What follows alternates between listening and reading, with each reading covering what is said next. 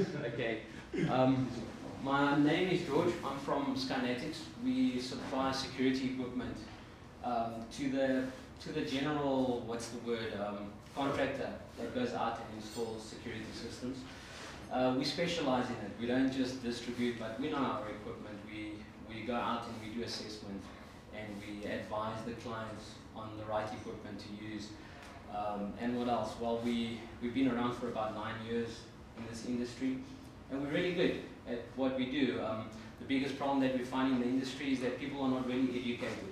You know, people see a system and they, uh, they believe that, you know, just because it's expensive, it's good, uh, but it doesn't really work that way. You've got to, you've got to be able to understand the specifications. And, you know, funny enough, people don't hide the specifications, but because you know the user at the end of the day doesn't know how to read those specifications uh, and doesn't understand them, they end up buying equipment that's not really that great. And then at the end of the day, they install it, six months down the line, doesn't work anymore, the quality is not what it used to be, and that's when eventually we get contacted and we come out and we have a look and we tell them, look, unfortunately you bought the wrong stuff.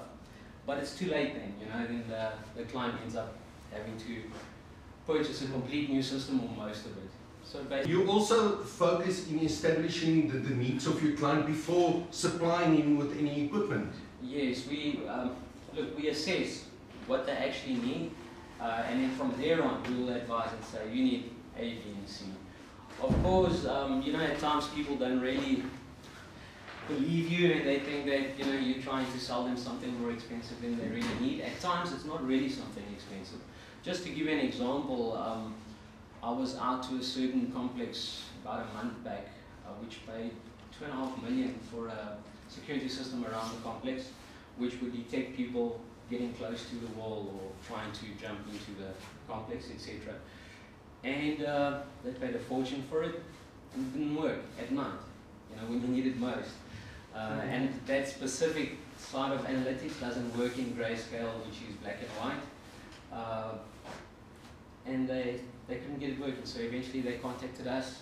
We've been out there, and look, we're not going to replace the whole system, but we're having to implement beams around that connects to their security system and, and warns them if somebody's coming closer. But uh, I mean, there's there's hundreds of companies, and so I've heard just just yesterday I was out all the way in. Um, I've been much longer than three minutes. sorry, sorry about that. It's fine. I've been all the way to um, uh, what's this place, uh, Reitz, just before yeah. Bethlehem, mm. uh, to see the Farmers Association, and there as well they're having problems. And they told us themselves, you know, they've had a hundred different companies come in and, and demo their products and show them the products. And you know, I went there without a single product.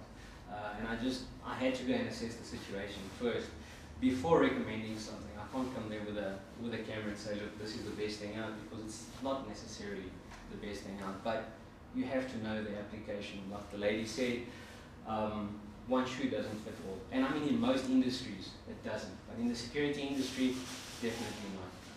Thank you so much. Your contact details for our um, viewers um, here, please. It is, okay, so my name is George, and my number is 072 298 2420. Thank you so much.